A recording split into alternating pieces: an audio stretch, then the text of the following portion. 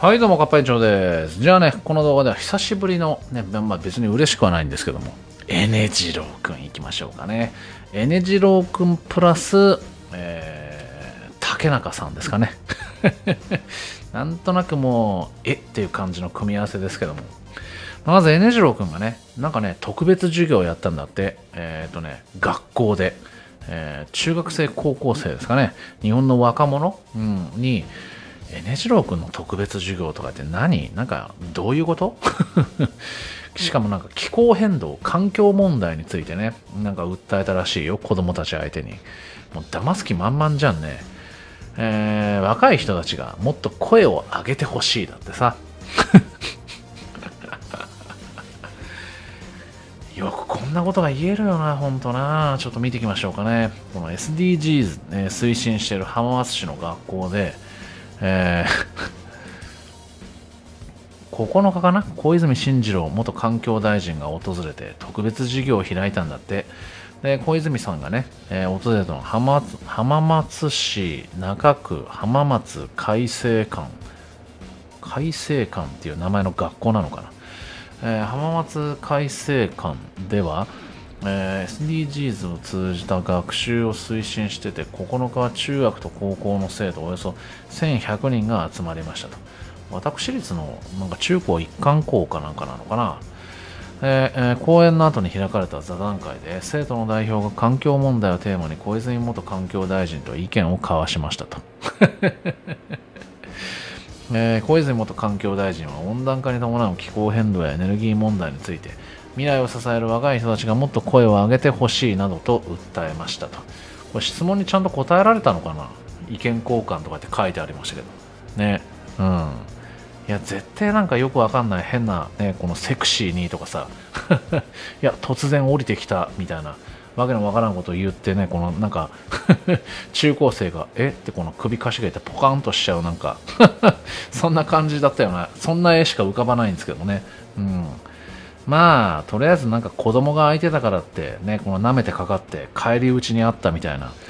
まあなんかこう子供だったらね、うん、軽く騙せるだろうぐらいに思って出かけてったけど、ね、どっこい中高生の方がね、うん、エネジロウ君のなんかこうアホな、ね、このざれ言に、ね、踊らされる人はそうそういなかったっていうのがね本当のところじゃないですかね。てか何を教わるんですかね。教わることなんかあるの？うん。むしろこのレジ袋とかさ、ね、剣とかこのコンビニをね、よく使うこの中高生、地味にイラつかせてんじゃないですかね。ね。そう、だからぜひこの中高生にね、質問ぶつけてあげてほしかったですよね、ねじろう君に。もしかしたらそういう意見あったんじゃないですか。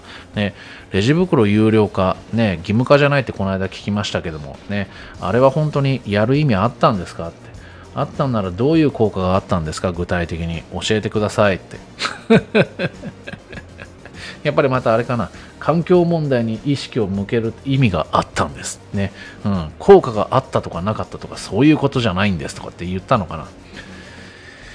いやー、ほんと環境詐欺師ですからね、ただのね、うん、ね、子供だったら騙せると思ってるところが、もうね、この中高生にね、随分と失礼ですよね。うん。っていうかさ、ね、こんな講演会なんか、このね、あの、開催しちゃって浜松市大丈夫なのかな？ね、浜松市のこの中高生、子供たちよりもね、この学校とかさ、ね、これをなんかこう企画した、ね、浜松市の大人たちがね、うん、だいぶやられちゃってるんじゃないかと不安、心配になりますけど、そっちの方が。まあそもそもこの SDGs っていう単語がね、もう企業なんかが低欲コストダウンするための方便でしょ？ね、真に受けたらダメですよね。うんで、この竹中さん、ね、竹中さんがなんかレジ袋についてね、なんかよくわかんないこと言い出して、レジ袋をね、1枚1000円にしようみたいなこと言い出したんだって。うん。は？何言ってんすかね、この人はこの人で。ねこね、竹中さんだけ1枚1000円払えばいいじゃないですか。うん。なんだろう、997円ぐらい中抜きするつもりですかね。うん。ね、このレジ袋の製造に関わる人たちが潤う話とか、そういうんじゃないですよね、これ。なんだろう、竹中さんって、なんだろう、もう日本憎んでんのかな？日本恨んでんですかね、この人ね。もう的外れとかそういう話じゃないですよね。だってレジ袋の単価の問題じゃないじゃないですか。ね、じゃあ仮にですよ、なんか目的意図があって、ね、そういうこと言ってたとしましょう。何のためにそれやるんですかね？その金どこに行くんですかね？うん。ね、嫌がらせの料金値上げなんてもう禁止してほしいですよね。アホかと。うん。ね生ゴミ絶対ビニールに入れてるくせにさ、何言ってんですかね、この人。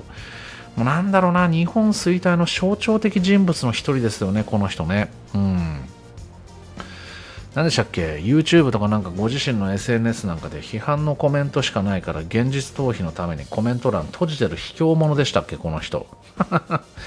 ね、レジ袋の価格仮にレジ袋の価格云々言うとしてもそれは市場が決めることでしょ？ねえうん。ね、買い物はエコバッグで、ね、ギリまあいいとして、ね、僕はいいとは思わないですけども、ゴミじゃあどうすんだよ？って話ですよね。万引きがますます増えるだけじゃないですか。そういうことさっきのなんかこうね、エネジロー君が訪ねてたこう、ね、中学校、高校のさ、ね、子供たちからも非難合々ですよね。うん。ね、しかもさ、レジ袋、ね、この人だって買ったことなんかねえくせにさ、偉そうに何言ってんだよな、ほんと。うん。しかしまあ日本をぶっ壊した張本人永久戦犯竹永さんは、ね、相変わらず言うこともやることもちょっといかれてますね。うん。普通にその辺にさゴミ増えるだけだろう。頭悪いなやっぱりこの人。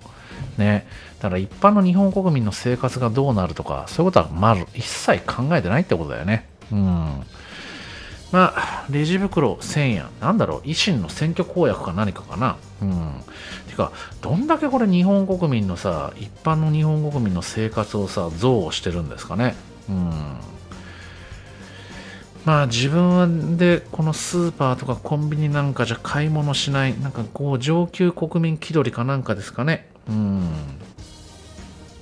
ね、1000円ですと、ね、店で言えるんならどうぞ自分で自らね、うん、率先してやってみせてほしいと見本を見せてくれよと、まあ、さっきのエネジロ君もそうですけども、ねまあ、接客もしたことがないやつの、ねまあ、もう言うのはただだからいつでもどこでもっていうやつですよね。